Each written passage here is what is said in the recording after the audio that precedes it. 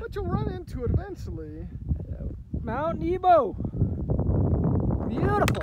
There's some goats down there. You might I might have caught them in the other video. As soon as I turned my video off, I saw them. That was the peak. Not there, but I guess you can't even see where I was standing from. Cause that's a little bit of a false false peak there.